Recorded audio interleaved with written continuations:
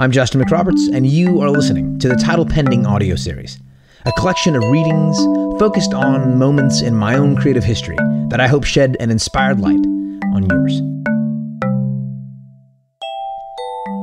Chapter 3 Listen to, read, watch, and see better art. You and I are part of a long, rich history of art makers just by wading into the stream of creative work.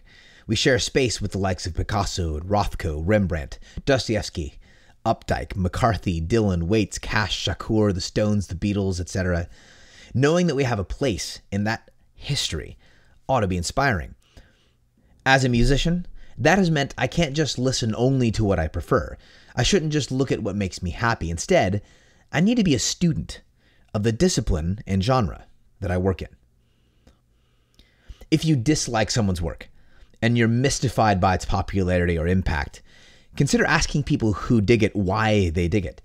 Don't allow your preferences to keep you from learning from art outside of those preferences.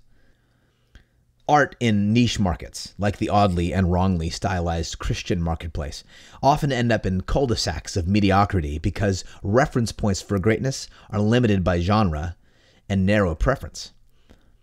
One of my favorite performing songwriters is Jeremy Enigk who fronted the band Sunny Day Real Estate. Both as a solo artist and as a primary songwriter for Sunny Day Real Estate, Enigk is widely recognized as a relatively groundbreaking artist, at least through the 90s. His work paved the way for most of what is now considered emo, including bands like Dashboard Confessional. When asked about his musical influences, Enigk often points at bands like U2, The Beatles, or Nick Drake, in later interviews I've read during his solo career, he mentions his love for more dramatic ballad rock like Journey or Queen. It's a safe bet that many, if not most, of Enigk's listeners were not also fans of general market successes like U2 or Queen, particularly beyond the genre he was helping to shape, was a key to making great music. And this takes me to a similar thought. Learn to appreciate and love art you can't make. At a pivotal point in the writing of my first book, I spent some time at the Phillips Gallery in Washington, D.C. Along with many other great works, the Phillips Gallery hosts a collection of pieces by Mark Rothko, whose work I greatly admire. I stood in the Rothko room for what was probably 15 minutes, though it felt like a week. I was entranced.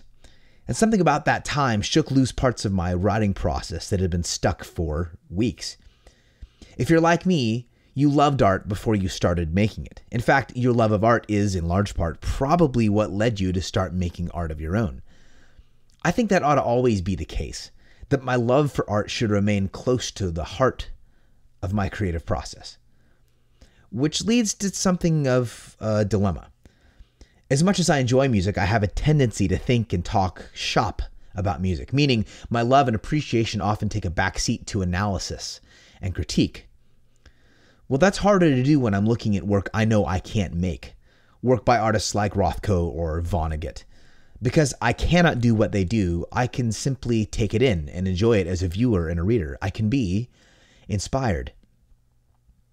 It's easy to fall out of love with art if I'm constantly in the grind of making it. One way to reawaken that inspired love is to step away from our own creative process for a bit. Another way as is discussed later in this book, is to make something outside your primary discipline or craft. I would add to that list the joyful discipline of listening to, reading, or seeing art you know you can't make.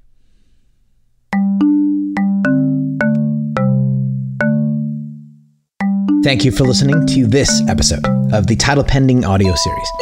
If you've enjoyed listening and you'd like to take another step or two in the direction of your own creative process, navigate your way to yourcreativeprocess.info. And there you'll find an online course I've designed for you.